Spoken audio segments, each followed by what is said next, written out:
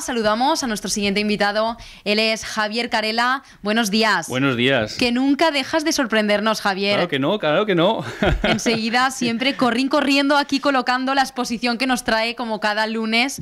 En este caso, hoy flores, ¿no? Para decorar la Navidad. Exactamente. En nuestros hogares. Bueno, ya todo el mundo sabe que el principio de diciembre pues es el escopetazo de salida para la Navidad, eh, para los comercios, para todo lo que rodea un poquito el regustillo y las ganas que tenemos de hacer las decoraciones navideñas, la Navidad en su conjunto. Qué ilusión hace, ¿eh? Pues te he sorprendido, pero casi casi era otro de los programas obligados, ¿eh? Claro que sí, claro. A mí es que me gusta la Navidad, ¿qué le vamos a hacer? Y hay mucha gente, oye, eso, no me gusta la Navidad. No, no, yo a mí me parece la Navidad, me parece preciosa, encantadora. ¿A quién no le va a gustar, Claro, nos juntamos con la familia, es una época de color es una época de alegría y, oye, todo lo que sea alegría, color y familia, pues ¿qué vamos a hacer? Es que es fabuloso, ¿no? Y de color estamos hablando y precisamente en, nuestra mesa, nuestros oyentes no lo van a poder ver hasta que no pinchen en lacomarca.tv, que estará allí colgado el vídeo. Yo creo que merece Tenemos la pena, aquí, ¿eh? sí, sí, tanto. Tenemos aquí mm, plantas. ¿Cómo podríamos definir esta, esta esta pues, decoración que pues tenemos no en estos momentos. El programa se podía titular pues plantas navideñas o plantas que tienen que ver con la Navidad, que además hay, hay, muchas. La Navidad yo creo que en conjunto es una época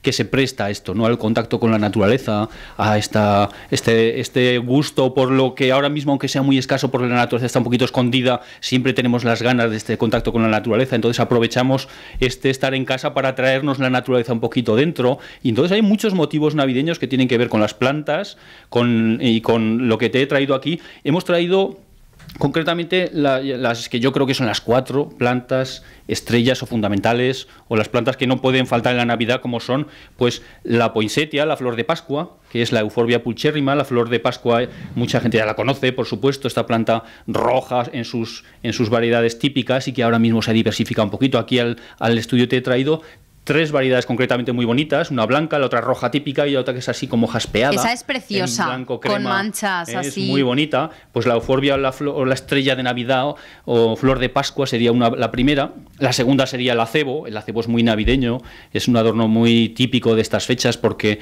coincide su fructificación en rojo, en estas bolas rojas, que el rojo ya todos sabemos que es el color de la Navidad, pues el acebo nos adorna con estos frutos tan bonitos y es también una planta muy navideña. Otro sería, la tercera planta sería pues el árbol de Navidad. El árbol. Te he traído aquí unas ramas porque un árbol ya no me he atrevido. ¿eh? Bueno, Porque- es que el árbol no, no cabría por esta puerta. Sí, pues he traído unas ramas de abeto, unas ramas de un árbol de hoja perenne, que es el árbol de Navidad, se pueden conseguir de muchos tipos, cada vez está más de moda ya no tanto el abeto de Navidad, sino el árbol de Navidad y se decoran de muchas formas, podemos hablar de sus tradiciones, pero es el tercer elemento vegetal importante.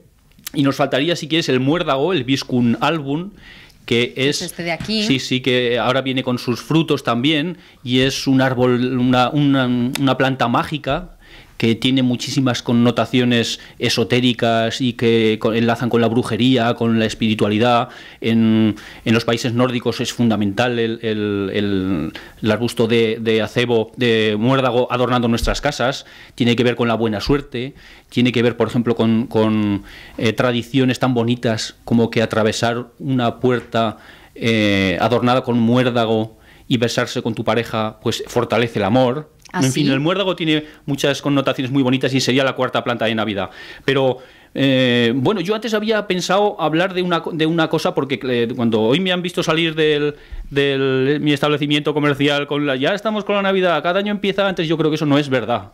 Y es que eso a mí me, me parece un poco que hay que reivindicarlo. La gente se queja de que dice, cada día empieza antes la Navidad, los comercios aprovechan y todo esto. Yo creo que no es verdad. Si yo desde que llevo eh, escuchando que cada año empieza antes la Navidad, hubiéramos adelantado la Navidad tres o cuatro días, estaríamos empezando en agosto. Yo empiezo a tener mi edad. También, tienes razón. Y entonces, pues eh, yo veo que todos los años más o menos, pues comenzamos en Por estas su idioma, fechas. estas fechas.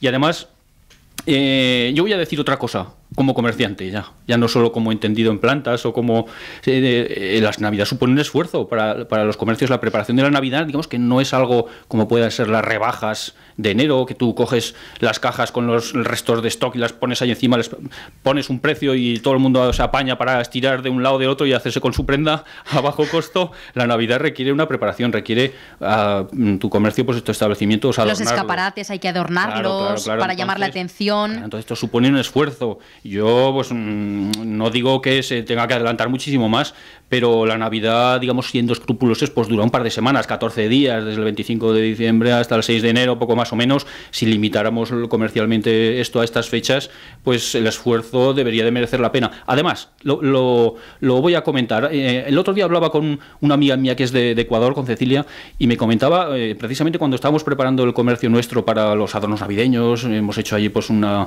una especie de, de adornos y de animación, como se llama ahora, y decía, voy, en, en, mi país, en mi tierra, ya hace casi un mes que están todos los comercios eh, preparados y adornados y es que después del 1 de noviembre, en muchos países latinoamericanos y en Estados Unidos también, ya se da el escopetazo de salida comercial y la gente Ya con los mercadillos navideños sí, los mercadillos Navideños muy importantes. O sea, aquí nos quejamos, yo creo que lo sin motivo. Después de la fecha de Todos los Santos, del día de Halloween en, Estados Unidos, allí ya comienzan y dan el escopetazo de salida. De hecho, es muy típico pues adornar las, las casas en el exterior y emplear mucho tiempo y mucho esfuerzo en preparar esa, esa Navidad y tenerla durante, pues fácil, un par de meses. ¿Qué te parece? Ya ves, y aquí nosotros solo 15 días. Pero bueno, qué ilusión hace, ¿verdad? Decorar toda la casa con el árbol, los motivos navideños y con estas plantas que nos ha traído Javier Carela, que es precioso, ¿verdad? Sí, sí, sí. Además, solo una cosa más si quieres, que uno de los motivos por los que he traído las plantas de Navidad es que esta mañana yo aprovecho todos los años en ir a buscar unas ramitas de muérdago porque el muérdago es importante, el visco un álbum, regalarlo. porque da suerte, como da suerte, pero regalado. Esto no tiene que ser ni comprado ni vendido, esto tiene que ser regalado. Entonces yo a ti ahora mismo... Ah, ¿me lo vas a regalar? Regalo el muérdago para... para proporcionarte buena suerte. Y otra cosa más es que sepas que no está protegido por la ley. Eso es un error muy corriente al confundirlo con el acebo, que es nada menos otra planta navideña que sí que está protegida por la ley en Aragón. De hecho, es la primera planta aragonesa que se eh, configura de protección, pero el Viscum album, el muérdago, ni muchísimo menos está protegido. Además, es una planta parásita que le ocasiona muchos problemas al, pino, su, a su planta hospedante. Muy bien, pues muchísimas gracias por el regalo, Javier Carela. Muchas gracias. Venga. Bueno, pues nos despedimos de ti hasta la semana que viene, hasta el lunes. Correcto. Gracias. Gracias.